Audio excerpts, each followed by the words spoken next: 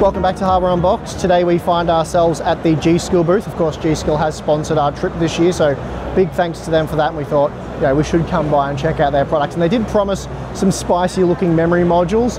Not sure what that means, but I thought, you know what, we've got to come and have a look at that. And, you know, CAMM 2 makes its appearance again. A few more details on that and what's going on there. So let's go check it all out. The Hardware Unboxed Computex coverage is brought to you by MSI, Thermal Grizzly, G-Skill and Tryx. Check out MSI's range of GeForce RTX 50 series graphics cards powered by NVIDIA Ada GPU architecture with advanced ray tracing and DLSS, delivering elite airflow, thermal design, and stunning aesthetics for incredible gaming performance. Included is MSI's unique 7-blade Storm Force fans which boost airflow and reduce noise. The Supreme and Vanguard models include vapor chamber cooling, while the Supreme Liquid features a 360mm radiator. All models provide advanced tuning and monitoring capabilities via the MSI Center and MSI Afterburner. So to learn more about MSI's RTX 50 series, please check the links in the video description. Also supporting our Computex trip this year is Thermal Grizzly and their Duronaut high-performance thermal paste offering extreme long-term stability combined with outstanding thermal conductivity. It's not electrically conductive and won't harden over time, so for more information please check the links in the video description. So here we are, and to no one's surprise, we have found a lot of memory modules. We have the Royal stuff, which I'm sure you guys have seen. Don't know if that's uh, reflecting into the camera there, but yeah, very fancy memory. You guys will have seen this stuff. But what you won't have seen, some of the new memory they have that's not necessarily coming to market. We're gonna have to get your feedback on that, see how many of you are interested. Now there is a new Neo X series and we'll talk about some of the memory in the Neo X series that is coming to market. This stuff is more demo. It could come to market, but it just depends on interest. So it's their, well, very uh, neon sort of looking stuff. This is a, a, yellowy green color. They sort of describe it as green. It's sort of more yellow to my eye, but whatever. It looks, in my opinion, looks very cool, but I think they look better in the systems, which we'll check out in a moment. Now, I get that you know, again, the orange memory I really like. I think that looks really cool. It looks really good under the RGB lighting. So while the black and white and stuff like that does fit in better with most builds because you know, the RGB lighting and stuff, I do think there is a market for these more out there, eye-catching memory modules. And yeah, I reckon the orange looks great. So anyway, let me know what you guys think. Is this something you would even entertain buying and putting in your system, or would you stick to the more traditional, safer colors, which we're going to look at now? So some memory I'm told that is coming to market, probably towards Q3. Uh, one of them is, again, it's in the Neo X range, and this is a matte black design, so it's not, it's not glossy, a very nice matte finish. I think this looks fantastic. This is obviously an RGB version because you've got the translucent uh, strip on top, but this is designed for an upcoming processor, I'm told. Now they wouldn't disclose which processor, but when I said new AM5 processor, they sort of gave me the look, so probably for a new AM5 processor, but that wasn't confirmed by G-Skill themselves. They just said this memory has been designed for a new upcoming CPU. So pretty exciting stuff on the horizon, I reckon. And then there is a low profile Flare X 5X. So probably the right uh, amount of X's for this particular model, maybe a third one if AMD produced it. But yeah, nice low profile memory here, no RGB nonsense, none of that stuff, just that matte black heat spreader very clean, will fit in like ITX builds really well. So pretty neat looking kit. And again, this is designed for those unannounced, unnamed upcoming CPUs.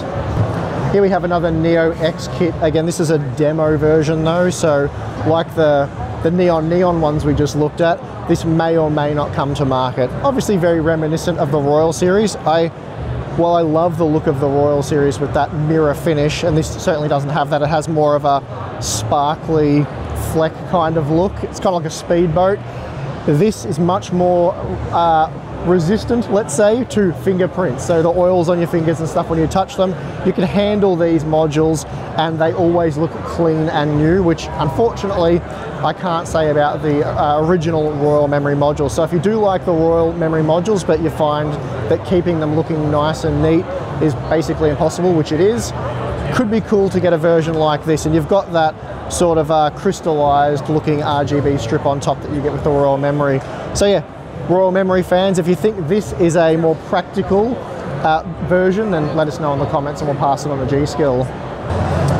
Okay, and then for the more traditional gloss finish, the piano finish.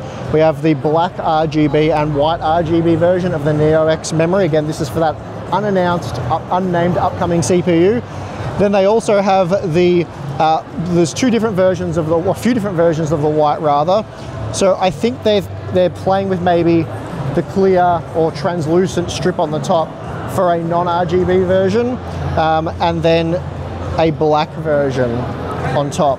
I asked, so this is a black-white version, I asked them if they were just going to do a painted white strip, but they said it ends up looking a bit too plasticky um, and may not age that well. So again, feedback, it, it, it's something they could possibly do, just a bit more difficult, but we have the white-black version, uh, the white translucent, and then the white translucent with actual RGB. But yeah, these look really clean, really neat, uh, and I can't wait to see what CPU they're meant to go with. Now, something that generated quite a bit of excitement at last year's Computex trade show was the CAMM2 memory. Unfortunately, nothing's really eventuated on that front. A lot of you keep asking about when's CAMM2 coming to market. I'd really love to get that for my next system. Still really no news on that. It exists, it works, uh, G-Skill are basically at the mercy of the motherboard manufacturers. So while they can produce CAMM2 right now and, and sell it, if there's no motherboards, then obviously no one's going to buy it. There's no point doing that. So they're, they're ready and raring to go. Uh, just the motherboard manufacturers have been hesitant. MSI made a heap of noise last year, said there was going to be boards coming to market, and unfortunately they didn't deliver on that. And I have spoke to them since. It's still like a, yeah, we might do it. There's some talk about it, but yeah, nothing really concrete, very wishy-washy. A few other board partners told me that they could provide us with uh, prototypes, like engineering samples to have a play with and see how it works out. So maybe that's something we can do. We can provide some actual content with some real performance and some real hands-on experience with it. And maybe uh, if, if you guys uh, enjoy that and think it is something you really want to do, then maybe they'll finally bring it to market. There's obviously some advantages, some disadvantages. Uh, we talked a lot about that last year, so I won't go into it now. But yeah, CAMM2 is here, but still not something we're probably going to expect to see anytime soon. Something else here that's really interesting, probably won't be of great interest to a lot of you guys. It's not a gaming focused product, but it is of interest to Balin and I because we do use a Threadripper Pro system at, at home for editing all of these videos. And this is a brand new memory kit with a 512 gigabyte capacity. So you are getting 64 gigabyte uh, modules. There's eight of them in this particular system. And yeah, that gives you that 512 gigabyte capacity, which would be really useful for us. Uh, there are some new Threadripper CPUs coming out as well in the not too distant future. So we'll probably work with G-Skill to try and get a very high capacity memory kit for our workflow. Because yeah, that would uh, be really, at the moment we are on 256 gigabytes, which sounds like a lot and it, it is, but we do often feel that when we're doing a lot of warp stabilization, especially with those big motherboard roundups, we often um, have to limit how much we can do at once, not because of CPU cores or CPU processing power, but simply because how many, how much of that footage we can fit in the RAM to, to process that quickly.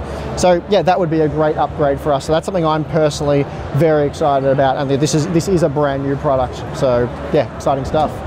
Now hear me out, guys. I know I'm pushing this neo orange, I don't know what you want to call it, but this very fancy looking memory down your throat. But I mean, check this system out. With the orange RGB fans and stuff, the memory glows a bit. Uh, I can even see like purple RGB like clashing really nicely with it. I think it looks awesome. Uh, again, colored memory can suit systems really well. Obviously you are limited uh, in maybe the RGB configurations you can go with with that sort of thing, but come on, that looks very cool. I'm hoping it's coming through on the camera and looking as cool as it does here. Okay, we've got my orange memory again, this time with RGB, which is also orange. It's a very orange, black and orange theme. Again, it looks very cool. This memory though is particularly impressive because it is four 64 gigabyte sticks. So a 256 gigabyte capacity on an AM5 motherboard. So it's an X870 board. Don't know how DDR5 7000 works uh, at that density and whatever, but we haven't looked into it. But apparently it's DDR5 7000 in a 256 gigabyte capacity running on an AM5 motherboard. So pretty interesting stuff there that I wouldn't mind checking out. Now this to me looks like the ultimate AM5 memory kit. DDR5 6000, which most CPUs should be able to do. Four sticks should still be achievable. 192 gigabyte capacity there at CL26 3636. So that is a pretty insane high performance memory kit there. Again, probably the ultimate AM5 kit for those that want to uh, run at the one-to-one -one ratio. 6400 is probably a bit dicey on some CPUs. 6000 should really work on all of them. So yeah, pretty impressive kit. Okay, so we have come across some CAMM2 memory on display here. You probably can't see it, but we'll get some B-roll shots of it. Apparently it's running at DDR5 10000, CL56, so fairly high latency memory, 64 gigabyte capacity, but this is running on a Core Ultra 7 265K, and it looks to be a prototype ASUS board. So I'll have to speak to ASUS and see if we can get one of those boards in to do some testing and yeah, maybe get some high speed CAMM 2 memory in.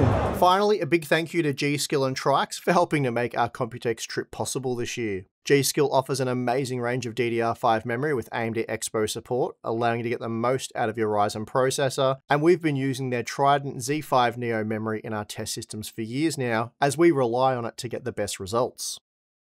We've also started using Tryx coolers, and I've got to say the Panorama SE 360 Black is one of the best looking AIOs I've ever seen. The quality of the rotatable display is incredible, and as complex as the design appears, it's remarkably quick and easy to install. So for more information, please check the links in the video description. Alright guys, that concludes our look at the G.Skill booth. I might have to create a poll or do something because I really want to hear what you guys have to say about that neon memory. Uh, it's the, the Neo series, but it's sort of more neon looking memory. So you had that uh, certainly orange and then the, uh, what was it, yellowy green stuff. I really did like the orange, probably conveyed that throughout the video. And then there was the alternative royal stuff, the silver um, sort of speckly sort of looking stuff, which I thought was pretty cool. Certainly not something I would be interested in, but I know a lot of people do like the royal series. So if you like the royal series, let us know about that. And then we have the Neo X memory for the upcoming, I think it's an AM5 processor, pretty sure it is. Uh, and yeah, obviously we'll get that memory in and test it with that uh, upcoming processor when the time comes. Still no CAMM2 stuff, no updates on that front, uh, but I will be pushing for an engineering uh, board and we'll get some memory from G.Skill and play around with that and see what we find. But anyway guys, thanks for watching and supporting our Computex trip. And yeah, I'm your host Steve. I'll see you again next time.